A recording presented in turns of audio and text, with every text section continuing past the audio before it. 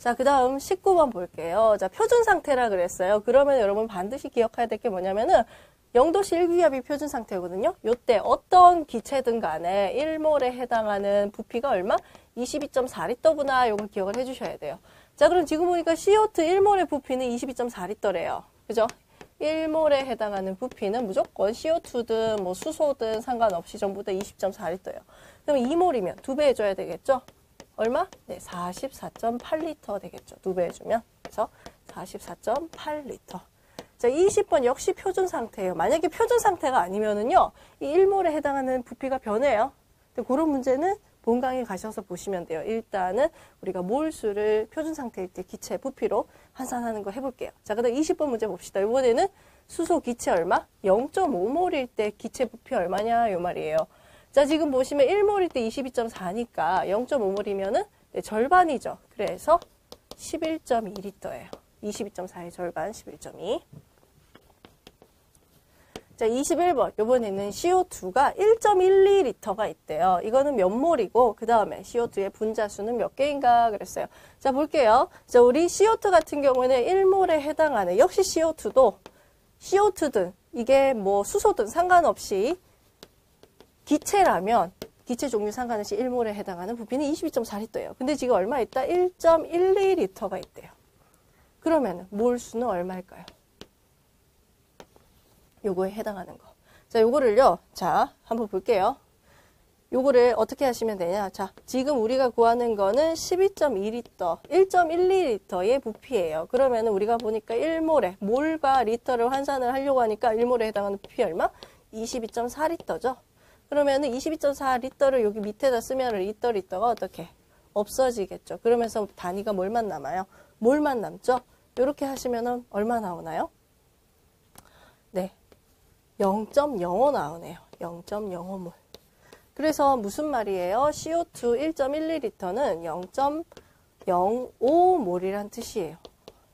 그러면 이때 CO2의 분자수는 몇 개인가 그랬어요. 자, 볼게요. 1몰에 해당하는 분자수는 얼마?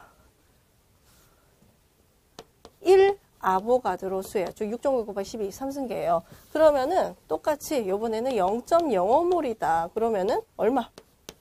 0.05 곱하기 어, 아보가드로 수예요. 근데 이 아보가드로 수가 얼마?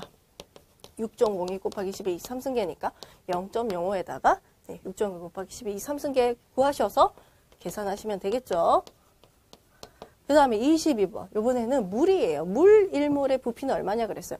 자, 일단 몰수 나오고 부피 나오면은 쉽게 요걸 생각하실 거예요. 1몰이 22.4리터라고. 근데 물은 기체가 아니에요. 그렇기 때문에 1몰이 22.4리터라는 거를 사용을 하실 수가 없어요. 그래서 이때는 보세요. 우린 뭐를 아냐? 1몰에 해당하는 질량은 알죠. 분자량. 물의 분자량 얼마? 18g. 요건 알아요.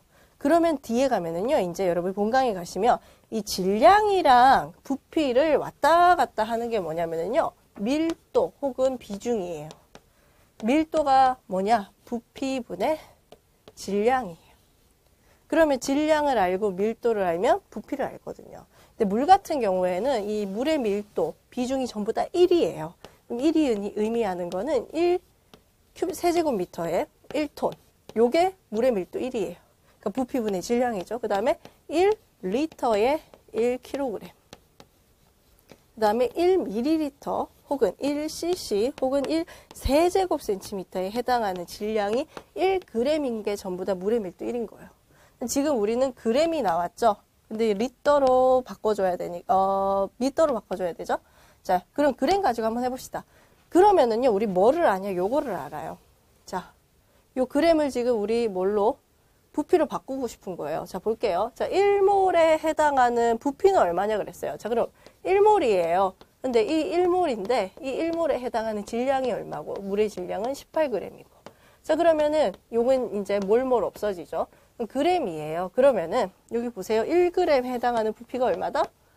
네 1ml예요 근데 우리가 1ml라는 거는요 몇 리터를 의미하냐 그럼 밀이라는 게 10의 마이너스 3승이거든요 그래서 10의 마이너스 3승 리터랑 똑같은 거예요 그래서 계산을 하시면 얼마 나오냐 네 1000분의 18 리터 나와요. 그래서 얼마?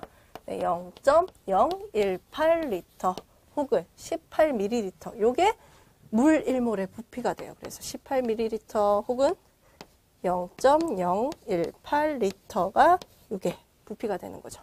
자, 그래서 기체가 아닐 때는요, 만약에 몰수에서 부피로 가라 그러면은 뭐를 질량, 이 몰에 해당하는 몰 질량으로 가셨다가 뭘 이용해서 부피나 그 밀도나 아니면 비중을 이용을 해서 부피를 구하시게 돼요.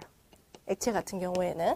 그래서 요거를 좀 주의를 해주세요. 그래서 기체를 할 때랑 액체를 할 때랑 달라요. 계산하는 게. 그래서 그거를 한번 맛보기를 보여드린 거예요. 이거는 본강에 가셔서 계속 연습하실 거예요. 그래서 이거는 맛보기로 한번 아 액체는 다르구나 그 정도만 아시면 됩니다.